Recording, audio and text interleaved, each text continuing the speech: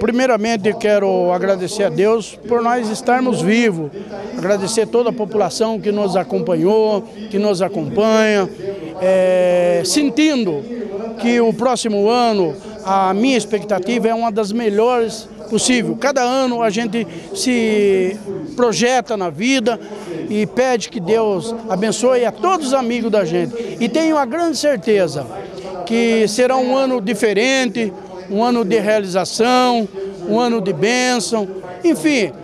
Esse é meu desejo a todos meus amigos. Tenho certeza, tenho certeza que Deus vai abençoar cada um de nós.